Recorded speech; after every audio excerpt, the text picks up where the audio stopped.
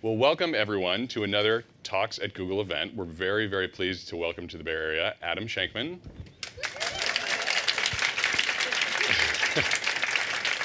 I see, I see you've got the horn sign down now. Oh, Yep. yeah. Um, so Adam, I, yeah, I've got to get this list. I got to read from my notes here. So Adam is a director, a producer, a dancer, an actor, and a choreographer, and we'll hopefully touch on each one of those, uh, this, the history of his career uh, in this interview. And he's also been a judge and is continuing to be a judge on a TV I only, show. I only judge for money. Otherwise, totally judgment free. Totally judgment free. Totally. We'll, we'll see. Yeah. um, on So You Think You Can Dance, and he's produced the 82nd Academy Awards, which in- you know in and of itself is just a, a you know That was the Steve complex. Martin Alec Baldwin one, the good one. Um, he's also directed television, so episodes of Glee and Modern Family, and as well as several films. I'm sure you're familiar with um, things like Hairspray, The Wedding Planner, Bringing Down the House, and most recently he's just finished up on Rock of Ages. So I think we're going to quickly cut to a trailer for Rock of Ages.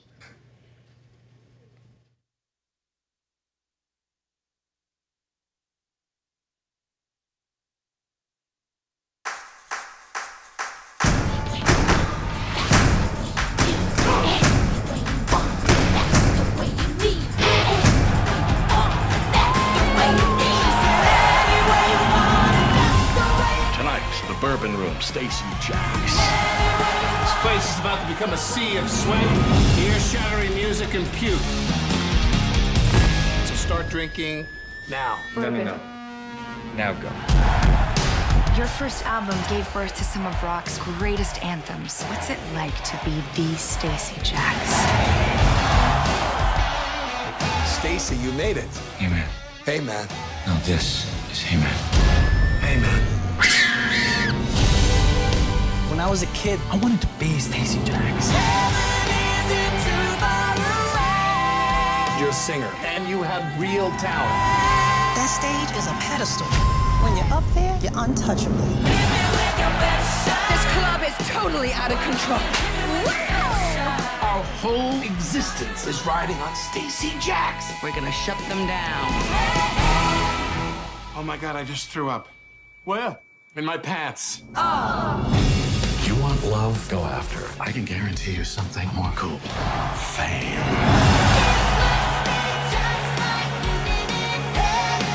If you want to get respect, you got to take that stage.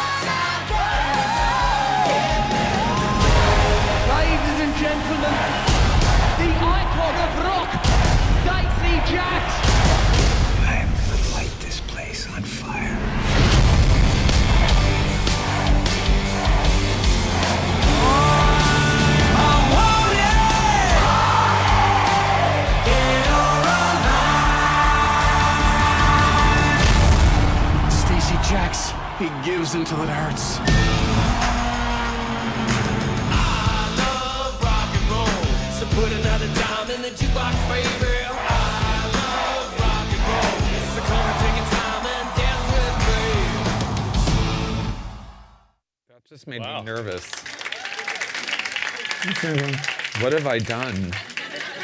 I, I was amazed at how quiet that trailer was. Yeah. Very low key. So, what attracted you to the material at first when you Rock of Ages? I mean, did you have long hair in Well, 1997? and, oh, God, I had horrible, I had horrible Jewfro. and um, and then I got home from high school one day and um, a f- we took a watermelon and filled it with vodka. And some As friends of mine do. out, out on a Wednesday after high school. And um, I hope my parents are watching this. And um, and then we decided what a great idea we were going to cut my hair.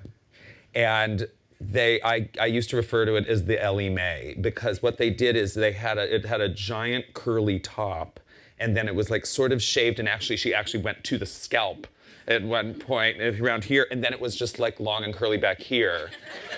So I. You're still friends with these people? yes. Well, actually, one of them is now the president of NBC. um, she is Jennifer Salke. Is actually was actually the person. Um, and I um, wonder if that's on her resume. yeah. Um, hi, Jen. Um, but we are, but yeah, I, I mean, I grew up, my dad was in the music business, and I grew up um, literally on the corner. His office was at 9200 Sunset, which is like Doheny, and it's the beginning of the strip. And I was, I, my first concert that I went to when I was 12 years old was at the Roxy, but it was the Cramps, and the lead singer pleasured himself and finished on stage at the concert, and I was and I was like, wow, music is weird, you know. Um, He fulfilled his contract. yeah, exactly. Um, but like, uh, but then you know, I was a huge Foreigner fan and a huge Journey fan, and and I started going to my first concert was actually was actually David Bowie at an arena. Um, but anyway, so this was kind of my time, and um, and what I remember about this time was that it was sort of the last period of our innocence kind of around because the, these people were running amok like children and there seemed to be no consequences for anything you know? You would just throw a couch out of a hotel window and it was like yeah! You know and like when people you could have casual sex and there was no aids and you would you never heard the word rehab you know and, and they were just doing mountains of drugs you know but it was just all in fun. I remember there's a brilliant documentary called the decline of western civilization the metal years that i literally stole everything from this movie from. And um, there's an interview with paul stanley from kiss and it starts tight and he's clearly like under a sheet and it's, he's talking just about life and rock and roll, and then it pops out wide, and he's literally in bed with four girls who are also naked, and and that's how he just did his interview, and that was normal. So I I thought, okay, I, I totally get this. So um, me personally, I, you know, this was more, this music was like the really the wallpaper of my life because, and back when MTV actually played music videos, every one of these things was on every second. So whether or not you're listening to it on the radio or had all the, what would they have been now? They would have been cassettes um, or had the cassette. Um, On your Walkman. yeah, on your Walkman. Um, that there was no way to avoid this music. So um, it's, it was so entrenched in my consciousness. And, then- and then when they asked me to do it and I went and saw the play, I, I was barely watching the play because I was freaked out about how out of their mind, the audience was just crazy for it. They were like practically eating their seats. Um, they were, and they were all straight in a Broadway musical, and they knew all the words. And I thought, I'll never know an experience like this again. This is like an unheard of moment. And so I thought, if I can combine all of my skills and get that kind of audience, it would be kind of an amazing experience. And was it one of the biggest challenges of actually working on this movie, just getting those songs out of your head? I mean, if you hear them Oh, so yeah. many times, God, it's it's a- well, every now- single one up there, you just It, well, they're on the radio now all the time. I mean, we're not going to take it as now like a hotel commercial, um, the theme song, and so and it's a they use it as a bit about being coffee, about we're not going to take bad coffee anymore. I'm sure that's what the song was originally intended to be about. Um, they went back to the roots. Um, but you know, the biggest challenge for me with this, uh, because it is a jukebox musical, and this is the nature of jukebox musicals, is that the songs are not written for a character. So you have to mold everything around those words coming out of people's mouths. I mean, in this movie, there's there's um, there's the, the production, there's the, the numbers that are presentational on stage, and then there's dialogue, and then there's monologues, stuff going on in people's heads. So it was just a matter of find, putting the right words and keeping the everybody who they are and real, as real as you can be in this world. But by the way, this is a real world for me because I actually do sing and dance regularly in my life and am a true embarrassment at the gym. So where were you in 1987? 1987, I was in New York, um, and I was more of like a club kid uh, back then. I was more, I was more new wavy, kind of. Um, but I was, I got back to LA. I'm from LA, and I got back to LA. Yeah, I was, I, had, I had left school, and I was a waiter, and had just started doing. Um, I started working in, in theater, musical theater. Because you went to Juilliard at 18, and Yeah, yeah, and I dropped out soon after. But you actually got in without actually having having ever any had a dance class. I know. I was a weird one. I was flash dance. It was literally, it was like knee and leg warmers, like dancing. And I got I had never taken a dance class and um, they let me in and and I got into every school that I auditioned for without ever having had had a dance class which all it means is I'm a good imitator do you know what I mean it's like I knew where to put my leg at the right moment whatever but that was really crazy that audition because they have a very strict ballet bar and I didn't know what any of the words were. I kind of knew what a plie was, but at, past that, I had never heard it. So I'm just like looking at everybody trying to just get past the audition. It was crazy. And but New York didn't really hold you in sway, but and you well, went back I, home for. Well, I uh, honestly, I had just done some uh, summer stock, and I had my first relationship, and I was, and it ended really weirdly. He kind of flipped out, and so I moved. But my parents said, just please come back home, and I, I, I moved back to LA. This was my dream to become a music video producer, and then I ended up working at a restaurant, and um, then got in. I auditioned for and got in the Janet Jackson Escapade video, so I'm in that, and then I got in, and then I did the American Music Awards for her, same thing, and then I got in the Oscars that year, which was the year Paula Abdul choreographed it. Yes, I'm a Paula Abdul dancer. Um, and um, soon, th- right thereafter, I kind of lied my way into my first choreography gig and kind of never looked back. I was very young. I was only 24 when I started choreographing. So And having grown up grown up in Hollywood, y- you probably had folks you knew or, or friends and parents who were in the movie business in some way, shape, or form. Well, what never really thought about movies as such, more choreography. Well, I never wanted to be a director.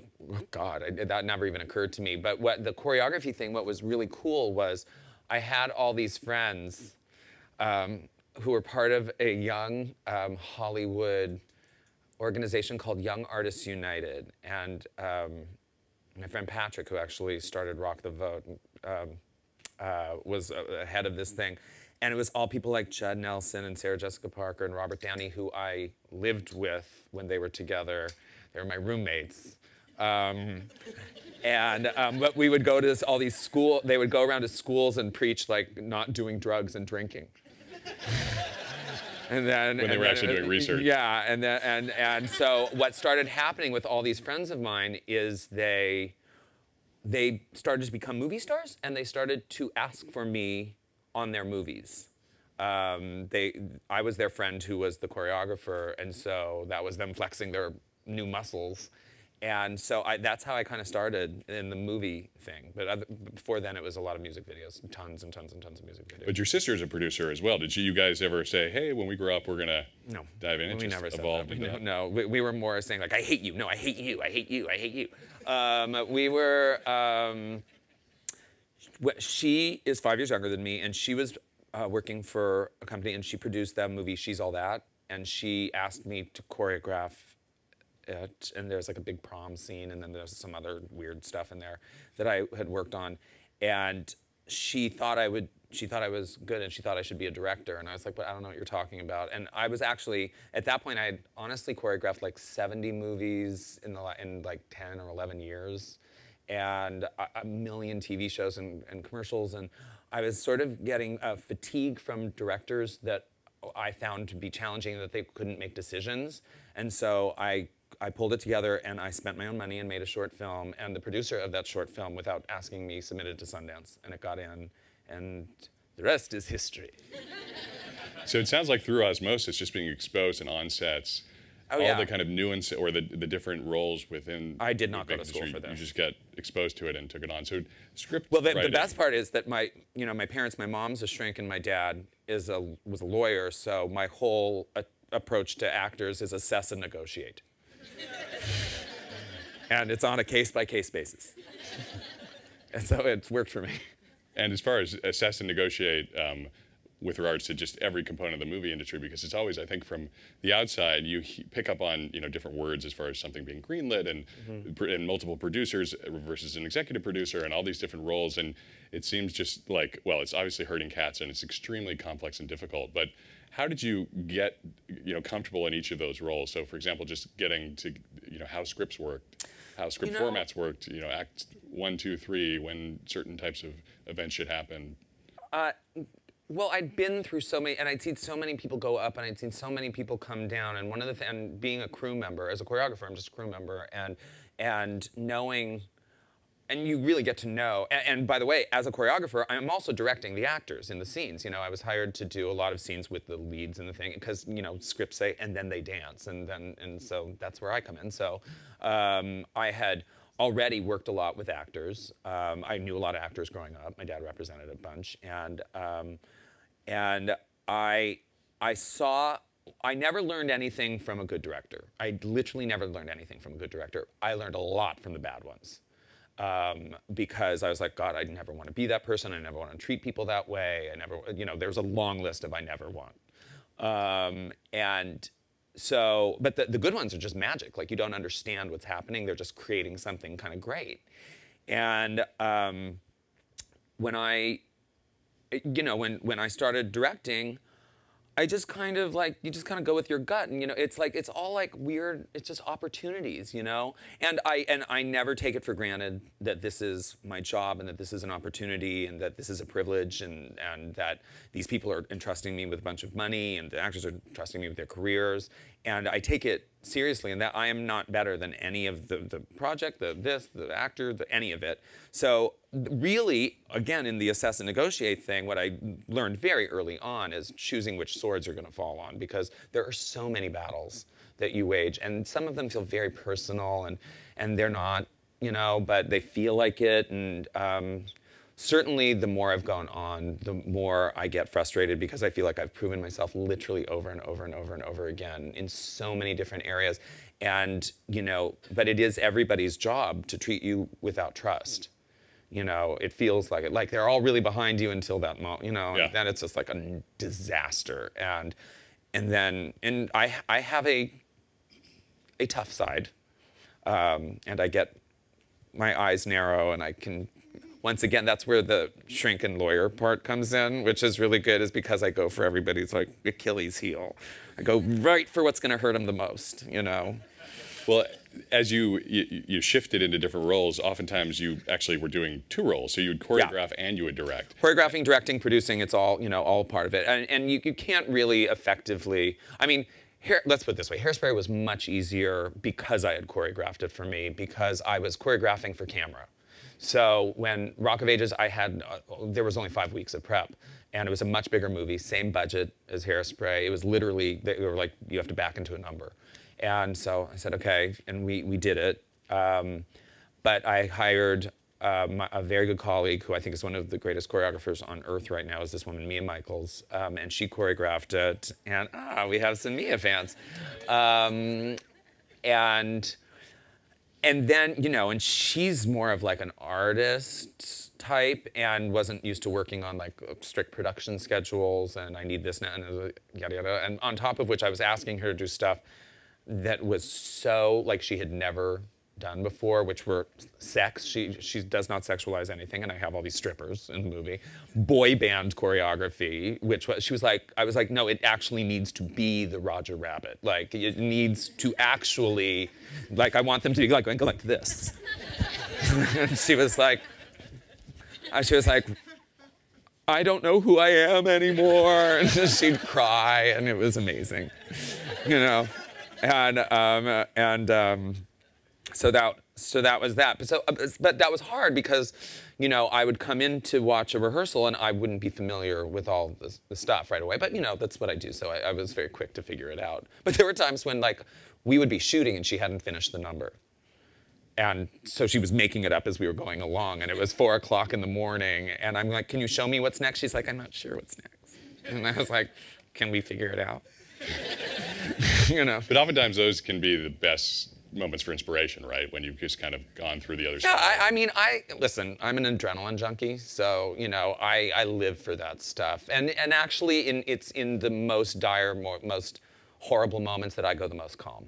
You know, so Well, back to being able to kind of preserve your energy so you can, you know, put your the, the most in the right spots. I Yeah. think when you start to take on producing, directing, and choreographing, how much more time would that add to a to a movie in in, when, in your planning, or It's- you're just I- because you're on the set, you just get you know it what? done? I'm not really good at living in the world. I'm really good at living on set, and so I'm just happy there. And so it's all good. Do you know what I mean? I, I would love to say it's like, oh, it's so grueling. It's so that It's not. I love it so much. Uh, it's it's so much a better place for me than like me running amok in the world. Bad, bad, bad, bad, bad. Um, so. Um, you know, I, I, I, like, I just started writing my first screenplay, which I was very excited about. That I actually had the nerve to like think that I could look at a blank page and have something to say. Um, I, am imagining it's going to be horrible, but I'm excited. Um, and like, I'm, I'm talking about writing. I'm writing um, uh, a children's book series potentially. So and so I've started. In addition to the screenplay, so then you're also. Yeah, well, that for some reason is is much easier for me. I don't know why. I don't know why. Children's. Theater. Do you know why? I come like my a lot of my background is children's theater, so I'm very versed in that. So, and it's weird because I'm like kind of like a dirty old man. So, it's weird. It's weird. I mean, I mean, I'm not. Like, not really, but I'm, but I'm like a person who's lived in the world. Yeah, yeah. I mean, but the strippers in my movie are like Cirque du Soleil performers. They're like, they're not strippers, they're professional pole specialists. Now, trying to actually control that environment, because you're, yeah, to your point, that time was so, you know, drug, sex, and rock and roll, and obviously this is a, a look into that kind of window. Did, did some of that seep into the environment on the set and you had to kind of keep that control or oh, were you God, enthusiastic no, like no, everybody no, was super everybody's super i mean you don't when you're around tom there's just no room for any of that tom cruise. Tom. Um, so yep tom. Um, um, you know he sets a bar of professionalism that is so beyond anything you could possibly imagine. His his enthusiasm, his energy, his there two hours before the crew. It's embarrassing because you're constantly, you know, trying to live up to that that standard of professionalism and commitment. And that it's my whole thing. It's like my life is too short, and living on sets, they have to be happy sets, or I'll kill people. Like uh, you're, you're happy or you're fired is basically my philosophy. So I, I, um, I, I insist that it be a, a, a fertile, happy environment. I mean, even when I was making A Walk to Remember, which is, and then she died of cancer movie, um, uh, I was a happy set, you know. Well, I think that must help in an ensemble cast. I mean, that's quite a cast. It's Paul Giamatti, it's Mary J. Blige, it's Tom, it's Alec Baldwin. Everybody, yeah, yeah. It's and everybody at a different level of something, and definitely big personalities. And um, but you know, in a musical, because it, it's none of their forte except for Catherine. Um, that Catherine Zeta, Catherine.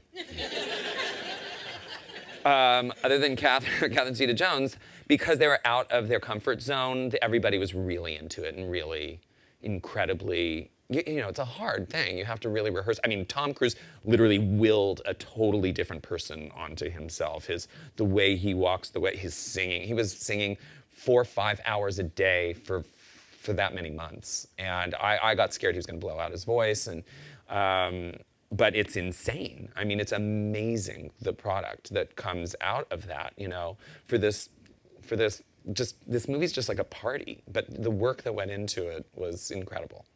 And as far as discovering what you're going to do next, is is your personal screenplay kind of top of the list, or no? God, no, no, no, no, That piece of crap is never going to see the light of day. Um, no, no, no, it's very, very cathartic, and a lot of it actually has to do with dealing with kind of my demons from when I was first coming out.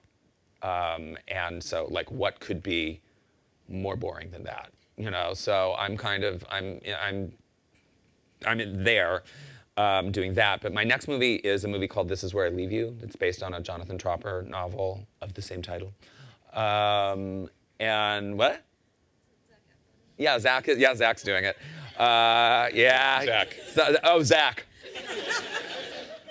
um, yes. Um, Jason Bateman, Zac Efron, Leslie Mann, uh, I think Sudeikis, Malin Akerman, Goldie Hawn. After 10 years, I got Goldie um, playing the mom who's basically playing my mother, which is going to be fantastic.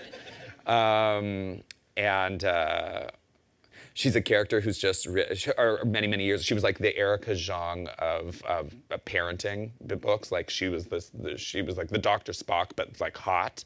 And in writing her book, she basically revealed all the secrets of her family, so her kids all hate her. But she's going on a book tour, and the father just died, and she's just gotten a giant boob job, and she keeps trying to show her boobs to the kids, like well, dur- during their father's funeral. And and and it's it, I cannot wait to get her out there doing that. This is going to be so cool. I'm so excited. Um, but yeah, more more casting announcements to come. And then after that, I'm supposed to do a giant green screen action adventure version of the Nutcracker because I don't want to take on the dancing version because I'm not George Balanchine and that's too scary. Um, so it's more like in the Alice in Wonderland, Snow White and the Huntsman vein of Nutcracker. But like, yeah, I mean, I went from that this Rock of Ages of people like crazy singing and dancing to literally a movie about people sitting in chairs, talking.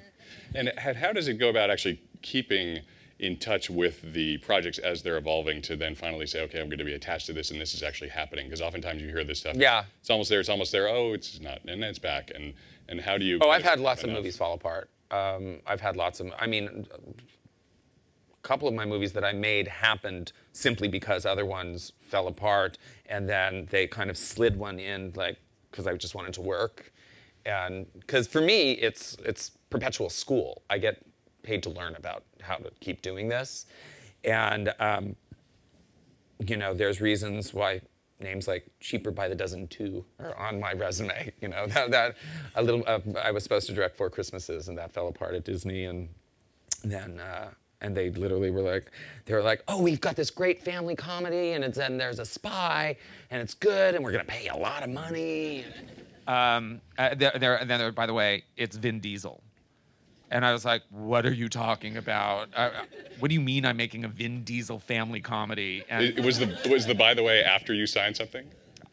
uh, well, the president of this is weird. The president of Disney at the time was this brilliant woman named Nina Jacobson, who I actually we went to the same high school, and she just produced Hunger Games, and um, she was just like, "Yeah, you're gonna make this movie for me," and my deal was there. My me and my sister had a, had a deal at Disney at the time, and I was like, "Oh my God, I'm making a Vin Diesel family comedy."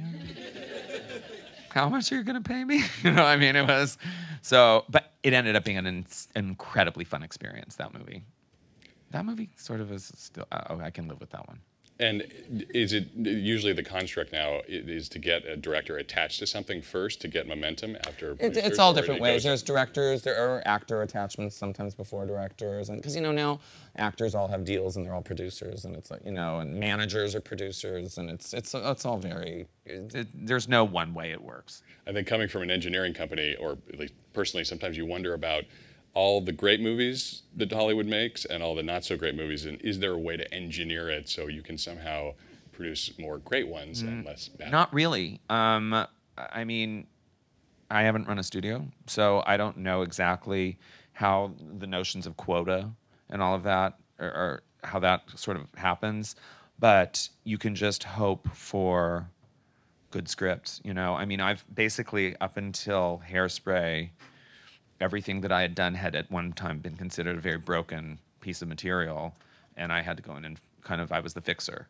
And then Hairspray was great, and then I then there was another one, and then um, and and this was Rock of Ages was pretty funky because uh, some of the construct of the play it, had, it was very breaking fourth wall. It was all narration. It was. Um, high camp it was and it was stuff that i was like well to emotionally get the, the audience invested i'm going to have to tweak the characters. tweak, tweak yeah do do a little magic. And um, but this one that i'm about to do is just an incredible piece of material. So i'm i feel super lucky like really lucky like really really lucky. So um, like you don't get it how lucky i am. Um, like i'm going to talk to you really for a long time about how lucky i am right now. Um, no but uh, yeah but there the, you know uh, quality control hollywood's never been known for that. You know we're we're that's not our game you know that we leave that to the weinstein company. Um, no we're you know we just we cross our fingers and and really hope for the best. Let's put it this way you know this nobody goes out trying to do shitty work. You know so and and these things are very difficult and they're labors of love and and one you, it is a year of your life and you can just find your life just passing you by if you're making one after another. So it's just like um it's there's a lot of trying to be conscientious about what it is that you're doing okay how great is this i had um, an assistant that quit because, and he came up to me and said, "Well, I got this opportunity to direct a movie." I was like, "Matthew, that is fantastic. What is it?" He said, "Murder on Cheerleader Island." Was that two or That four? is not a joke. That was actually the name of the project. And I said, Don't tell me it's about a series of murders on an island during cheerleading camp. He's like, Yeah. And I was like, Wow.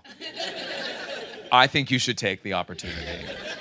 You know, and because everybody just wants to direct, you know, they think they, and I was like, but why do you want to direct if it's going to be just like murder on Cheerleader Island? I mean, I get it, but really, you know, I think we can start taking some um, questions from the audience if, if anybody wants to hop I'm up very the mic. shy, so.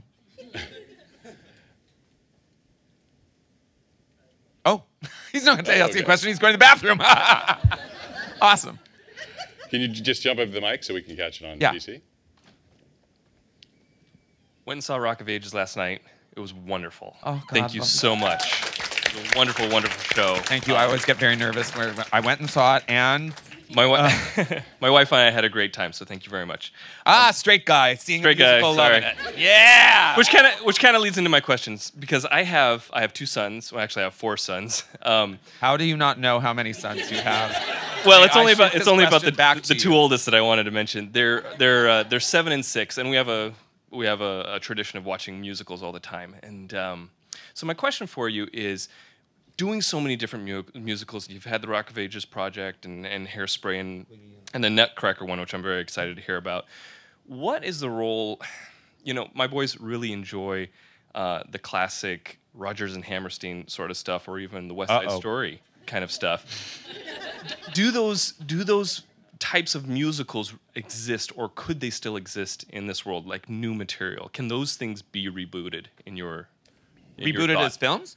Rebooted as anything, as uh, to, to I mean, they're- to, they- to they- expose they new do- material, updated material to a younger generation. Yeah, that, I mean, they uh, are endless. They're perennial on Broadway. I mean, you know, there's constantly a, a new, you know, they just had a really successful run of like South Pacific and all of that. So it's, um, uh, uh, they exist there. Making them now, I think, where they would exist best and most is probably in cable now because I don't think the studios want to. Ma- I mean, you know, they're making another A Star Is Born.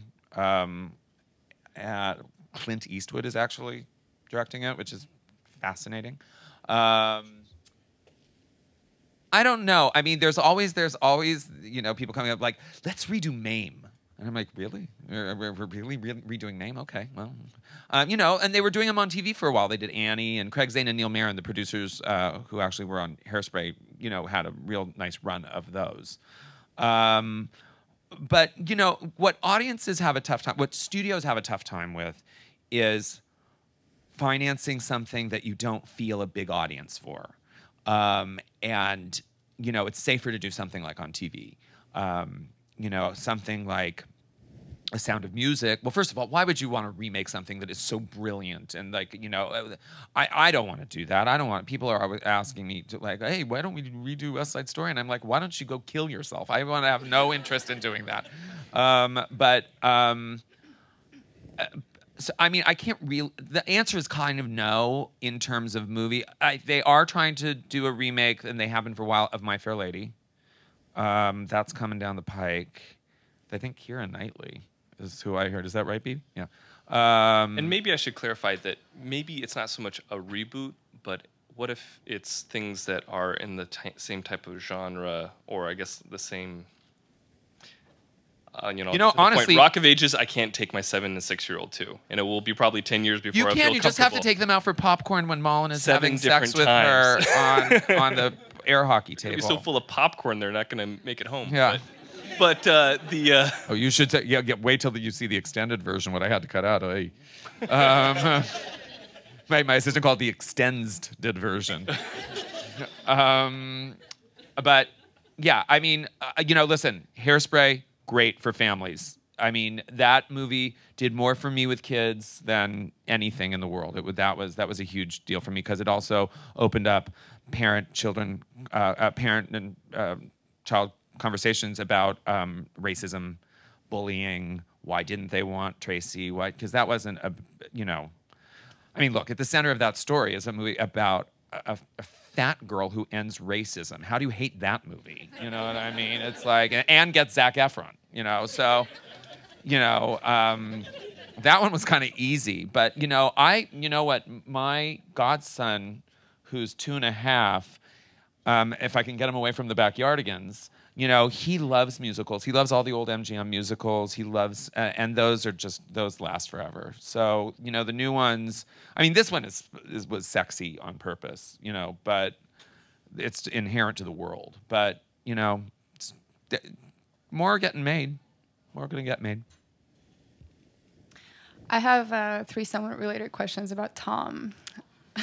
I'm shocked So why Tom Cruise for the role of Stacee? because I want because he was a he in Suri who basically rules that household was a huge hairspray fan and they watched it probably 300 times apparently and um and I met him at a party at a actually a one year old's birthday party, literally sitting in one of those little baby chairs, and he pulled up one next to me and started talking to me, and I was like, he was like, "Hey, I'm Tom Cruise." I was like, "I know who you are."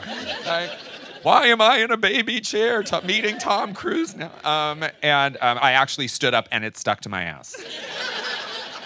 and this is not a joke. That is a very true story. Um, it made him laugh. But he had he made some reference to wanting to do a musical, and I was like, oh, that's great, and that will never happen, you know. And then this came along, and I thought, God, if I could get the biggest movie star in the world to play the biggest rock star in the world, that would be kind of an event. And I certainly don't want to put out a musical, put my name on something that's a musical that's my home, what I love the most, and not have people want to see it. Do you know what I mean? So I, I knew it, it seemed stunty, but it's still the it what if. But by the way, how many people here saw it? Dude pulled it off, right? I mean, like that. That that was that was a lot of work that went into that, and it was a gamble that paid off. So, kind of a follow up. How difficult was it for him to get into that role, and what did he have to do? we poured over I, I sent him every book known to mankind uh, about the, those guys in this period and i talked to him endlessly about channeling his intensity into being intensely lost um, i wanted him just to like not be a creature of the world who nobody says no to and um, who you know certainly tom is not a stranger to the notion of being a star. So that was an easy in for him. But he, you know, the guy doesn't drink. He doesn't, uh, to my knowledge, never touched a drug. You know, so this is all very foreign. Um, but he, lo- it just made him laugh. The whole thing just, he thought it was so weird that I was asking him to do a musical, and he just loved the opportunity, and especially being a father and Suri being this incredibly creative, beautiful child, he loved having music in the house a lot. So it really it did a lot in, in their family life. I, and poor, and poor Katie has to listen to that guy sing now every every minute of the day. But you know, and the dude has the loudest voice on the planet. Decibel breaking. You, you touched on uh, this just a little bit, but just in general, what's it like to work with him? it was the greatest experience of my life. It was it was absolutely life changing, just in terms of having to look at myself and just say how present am I, you know, and how and and and just really see there's zero ego. There is just the work. And that is so inspiring. That is so inspiring. There's been a few actors that I've worked with that have really taught me a lot. Michelle Pfeiffer was one of them. Michelle. um, on and on. You know, I've, I've had the great pleasure of working with people who really take what they do seriously, and I take what I do seriously because it's all I do. You know, I mean, this is this is amazing. I can't believe like I'm out of my editing room or something like that. It's like, oh wow, there's people. You know, so it's it's it's great. It was an it was amazing. He is as you know, what's really funny about him when I look back now and think about like the Oprah thing and any of that stuff, that's real. Like he gets that excited. He's like a kid. You know, he just he's sort of guileless and and just he just loves stuff, you know, and that's real. And so it's, you know, sometimes I was like, you have to stop liking this movie so much. You know, "Uh, please, you're killing me, dude. Um, but he, he just never wanted it to end. So Uh, hi. I uh, uh, first, my wife and I saw the movie last night. We loved it. It was fantastic. Um, and this this question may be a little bit too close to work for most people, but uh, I'm a product manager in the ads group. I work on tracking how online advertising affects people's activities in the real world. And I was wondering if you can tell us about anything you're doing or that you know people in Hollywood are doing with regards to integrating the internet into movies and Oh my God, it's a entertainment in general. huge part of our discussions during the marketing of a movie. You know, um, they're they're now they're now partially predicting openings by Twitter activity, um, trending. Um, certainly, you know, an active Facebook page, uh, anything that's interactive with a greater audience. It's it's a big part of our discussions. Do you do anything with things that are more than just tracking ads, but also like live interaction? Aren't I doing it right now? well, I'll give you a specific example. In New York, there's a there's a group called um, Punchdrunk, uh-huh. and they they do this live interactive theater example um, Hmm. experience, and uh, they're they're working on some things where you know you kind of integrate the the live experience with the um, the sort of internet experience, so that there's something happening simultaneously. And there are other people who have done things with like voting systems and things like that. Is there anything experimental you know of, or anything that? Uh, Um, uh, you know, I, I- just I don't know about it, but I'm sure there is. Like, um, I'm a guy who I, a young director who I gave his first job. Uh, he did the second, he did the second and third Step Up movies, Jon Chu, and he just did GI Joe. YouTube just gave him a whole channel, and d- that's all about dance stuff material and i know he's doing lots of different kinds of work like that but he's really techie and really into it and if anybody knows about it it's him he's actually he's kind of he's he's a pusher on that one okay, thank you. And I think that concept of 360 degree media is really taking hold because both in television, so a lot of, you know, I know you've directed Glee and Modern Family, and a lot of those experiences for like heroes, they existed outside of the, the film. So you actually go to the website or you go and experience something that's part of the storyline that's actually not Yeah. just in the in television or i think that's fantastic and you can look into the journey of a film more and more because you can give updates from the set and really for people for fans to just participate more it's so much easier yeah I, I was during the whole making of the movie i was doing that you know i was trying to keep it as alive as possible sending tweeting a lot of pictures doing as much as i could we didn't do any um, we didn't do any um, live streamy stuff because out of context this movie could feel weird do you know what i mean? It looks a little odd. I mean i think that audiences for this movie aren't exactly going to know what they're in for when they go in because it is an unusual hybrid of a movie um, and it's hard to kind of express the tone of the movie in the advertising. Do you know what i'm saying? Kind of weird. Like you don't really it, like i'm just assuming from your reaction that it was better than you thought it was going to be so which i'm happy to take by the way so that is that's all good and that just that that creates word of mouth i'd rather have a low expectation with a high result you know Well, I think because this has such a frame of reference that everybody, you know, you hear those songs and you automatically kind of remember and associate with those, and that so they bring both good stuff and possible baggage. So yeah, I think that's a Yeah. good. i mean the same with uh, you know cast members Hi, thanks for coming, by the way. my Um, pleasure yeah. i'm loving this by the way this is fun for me Comment the school prom choreography, and she's all that was like the best thing that ever happened to me in sixth grade. So it was awesome. that was me Thank you for that. I love it. I love it. yeah, yep, yep. I had about two hours to put that whole thing together, and I'm not kidding. That was actually they they literally brought in the dancers. I taught them it in two hours in the lobby of it was the Cerritos Auto Square where we shot that in like Long Beach. And uh, the next day, we were literally sh- shooting it all day. Uh, it, was, it was the craziest thing. I just like, okay, Skill. Hollywood. It's good times.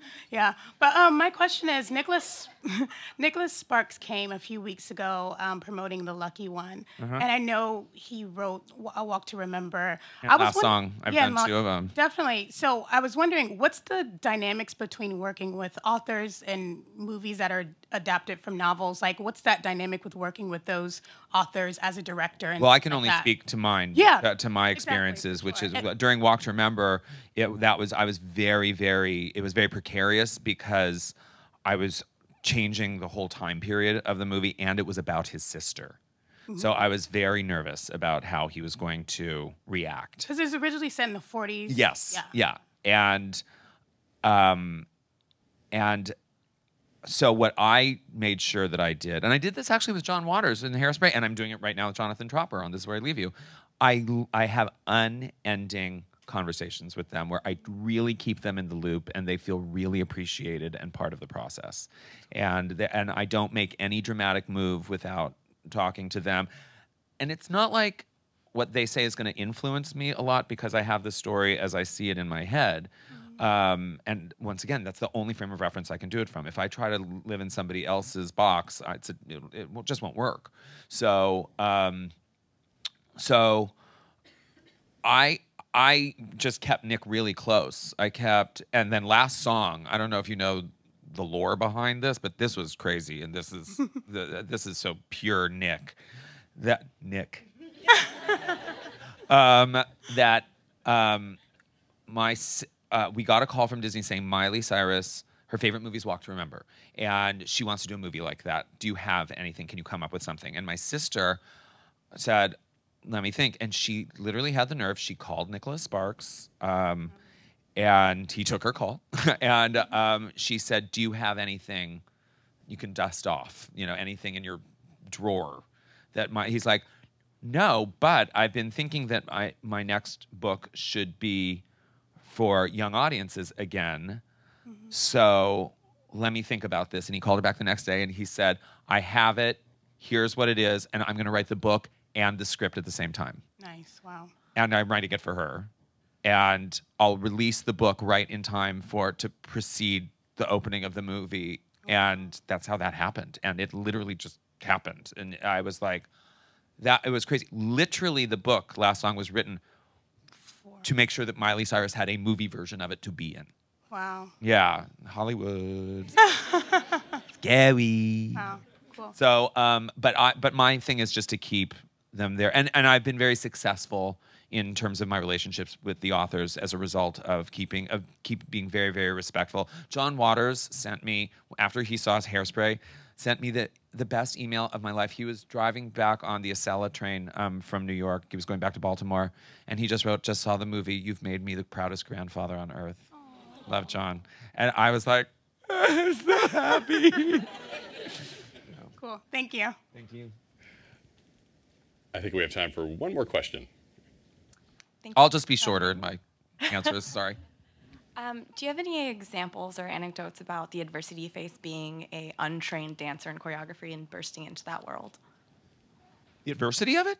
Yeah, like were you did you receive any backlash from Oh, oh God, yeah. I was I was treated really badly by the um I was treated I was treated well by choreographers. I was treated very badly by the teachers because I just had no training. And but they treated me because I was embarrassed to tell them that. They treated me like I had like 13 years of terrible, terrible training that they had to undo. But I didn't want to expose the fact that I had no training because then it could have created a fuffle in that world. Like, how did they let me in? And, Mhm. you know, all this stuff. And the Juilliard philosophy is to uh, break you down and create the best technician possible so that you're technically prepared. So, uh, yeah, I got, I got beat up a lot. I got beat up by the teachers a lot. That was hard. That was hard. It was psychologically and emotionally very hard for me. I'm still clearly damaged. You can tell. You made it. Thank you. Great. Well, on behalf of Google, thanks everybody for coming.